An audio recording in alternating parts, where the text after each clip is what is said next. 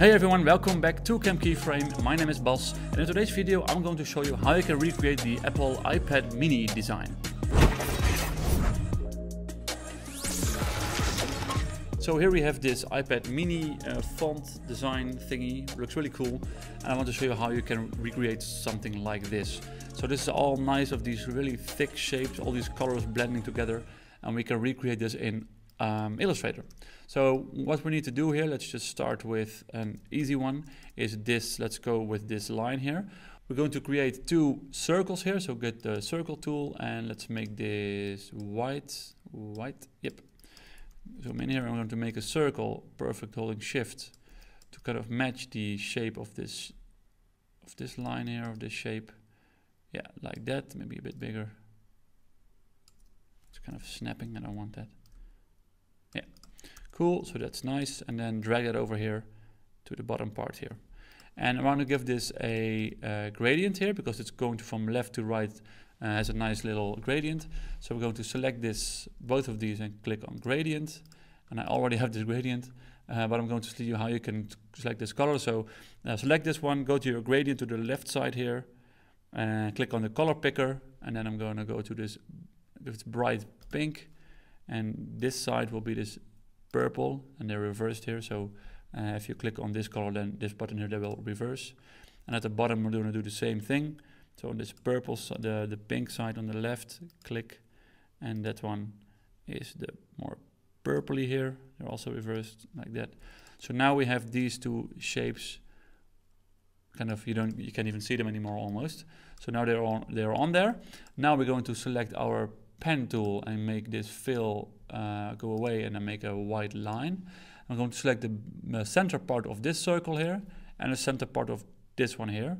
I'm going to click and drag and then select Alt a bit and I'm going to create this line here, this spot, so get the middle of this stroke kind of.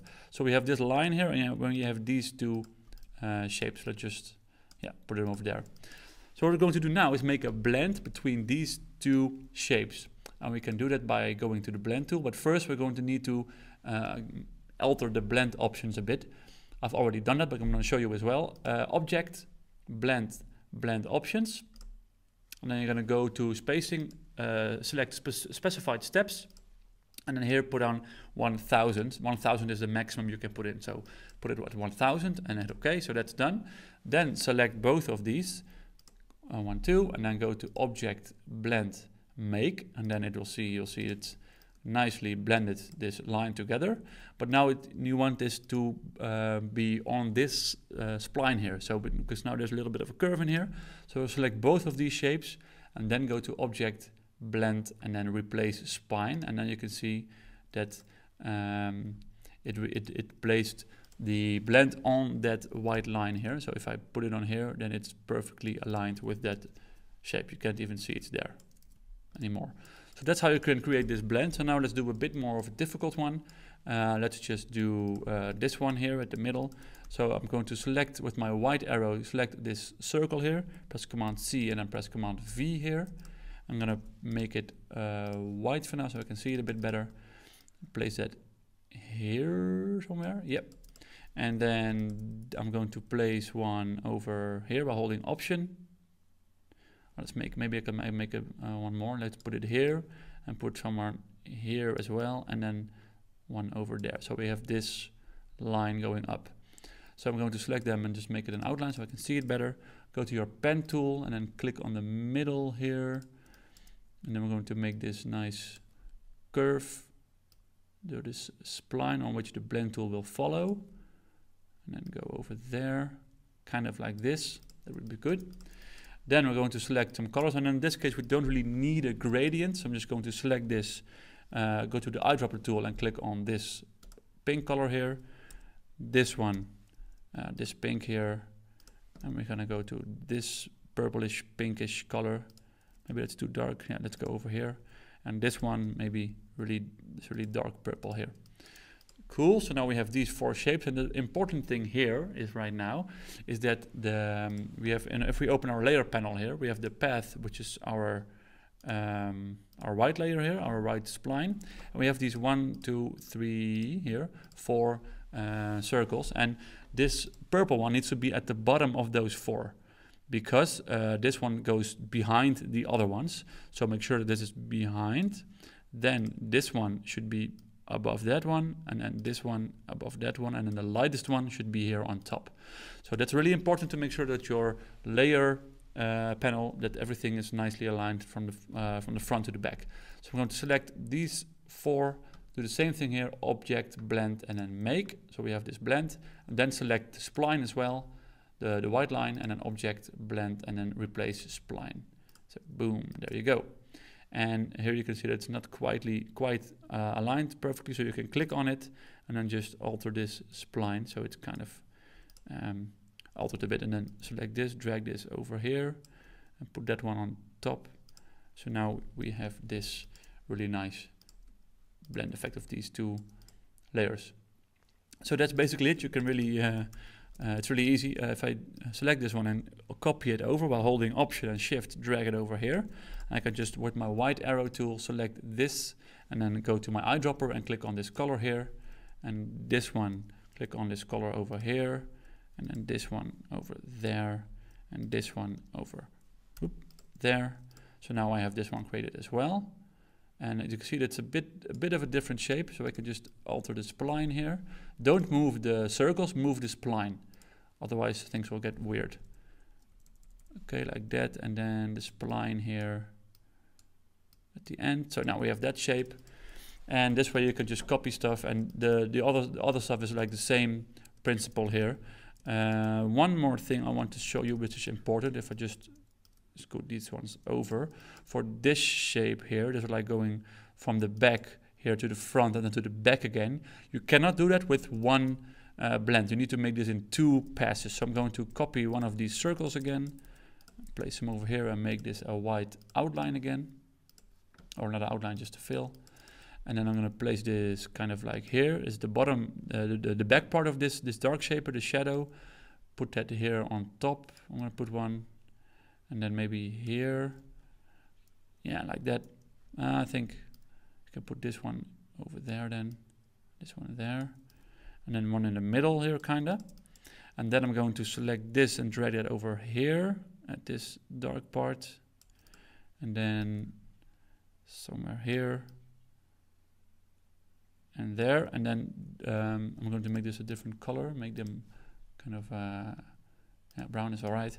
And then drag it over here on the exact same spot here as this one as this one. Then I'm going to click uh, make another white line here select all of them and just I'm just going to I want to see it a bit better so I'm going to make these outlines first then I'm going to click here and select this. Go to the center here. I'm going to make this one big shape. Like that, all right. We have this spline. I think yeah, I need to alter it a bit, but okay. You need to make this look, look pretty, of course. And then I'm going to select it, press Command C. And then from this one, it's still here, I'm going to delete these points. And I'm going to press Command F to make it a different color, make it red. And I'm going to delete these points here. So we have these two separate splines here. So let's uh, change the color for these ones and make this really dark. Make this uh, like like this color here, and this what could be this one and then we have this these browns here. Let's drag them over with this red spline. And this one can be this color. And then we're going to see at the, um, the layer panel here if everything is in order. So we have this one. And then on top of that, this one. Yeah, as you can see here, it's selected. And on top of that, this one, and then this one, which is cool. Okay, so select all of them, go to Object, Blend, Make and then select the spline here and go to blend replace spine spline. And here you can see that's not quite lined up so you can select the spline and then alter that a little bit like that. Make it a bit bigger.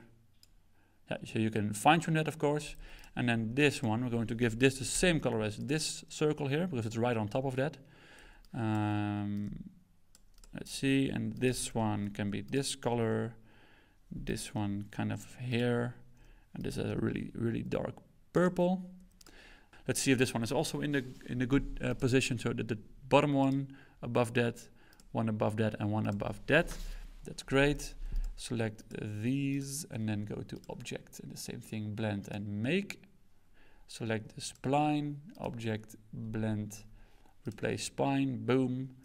And then we can alter that, go of course again, okay. And but I'm going to drag this right on top of this other circle here. Let's see where it snaps, right there, kind of. So right on top. So now we have that uh, shape made here as well. So that's how you can create this because it's going from the back to the front to the back and you can't do that with one because this one needs to be in the back and this one as well. So it needs to be done in two uh, specifi specified steps. So that's how you can create that one. And you can see that there's a little bit of color difference here. You can see, it. so just make sure that these, uh, these colors are uh, nicely blending together. You could just change the colors a little bit by making a little bit a bit darker, a bit less dark, um, like that. So then it's uh, better. So um, that's how you can create this iPad mini design here.